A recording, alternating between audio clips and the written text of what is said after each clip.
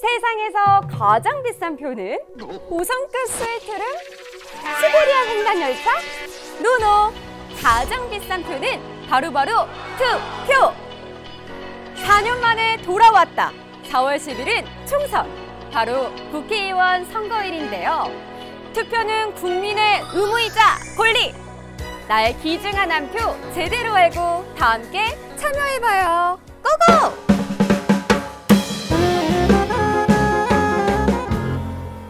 공정선거 톡파원의 특명! 선거의 사원칙을 지켜라! 선거의 원칙? 시험 볼 때 외웠던 건데?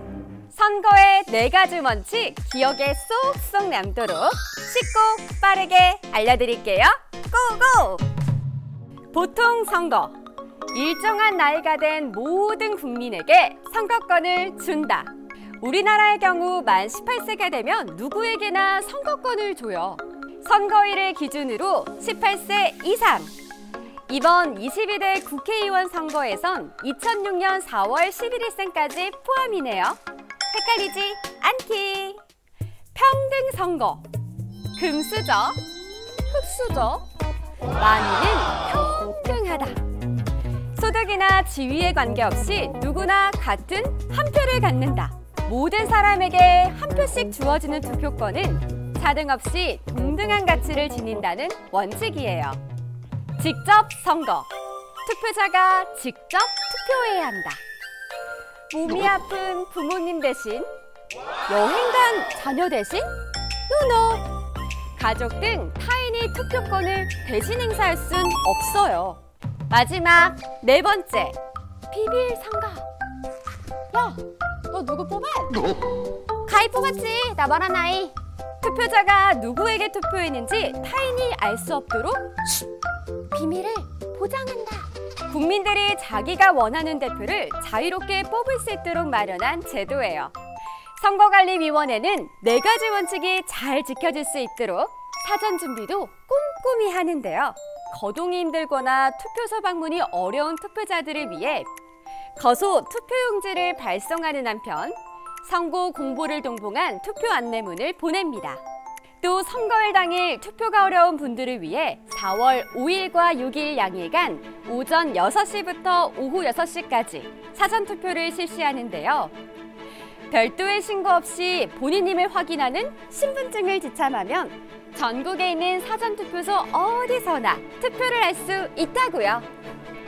디데이 선거일인 4월 10일 오전 6시부터 오후 6시까지 투표를 진행하고요. 투표 종료 후 바로 개표에 들어갑니다.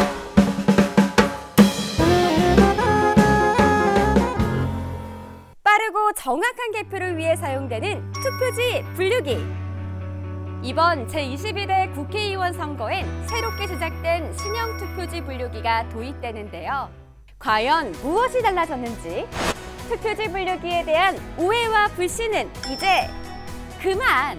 공정선거 톡파원이 쏙 시원하게 알려드릴게요. 무선 네트워크를 통해 외부에서 접속할 수 있다?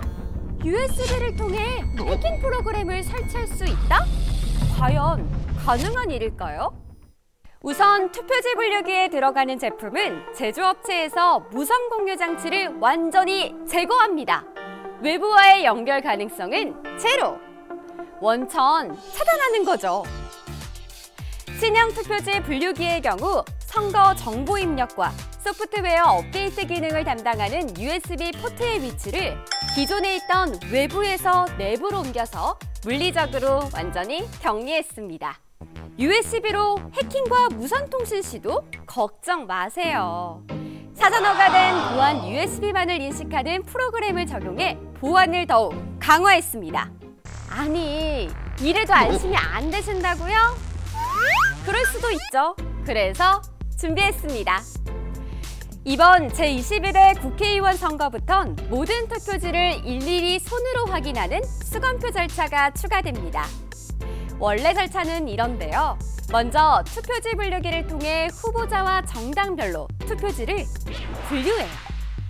그 다음 심사계수기에 넣어서 분류된 투표지가 해당 정당이나 후보자의 유효표가 맞는지 확인합니다.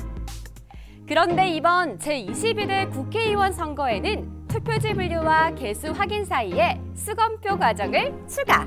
투표자 실물을 직접 눈으로 확인하는 거죠.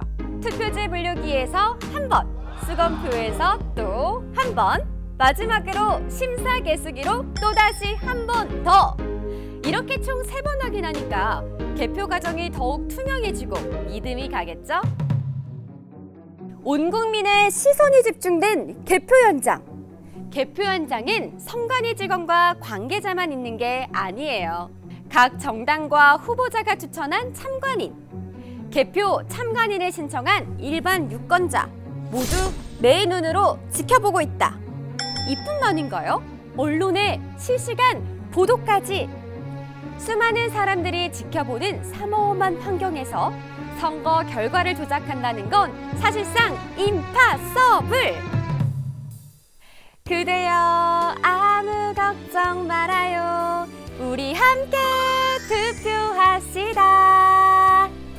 모든 과정을 투명하게, 모든 절차를 정확하게. 투표로 말하는 국민의 목소리가 큰 울림이 될 수 있도록 국민의 한 표한 표를 소중히 지키겠습니다.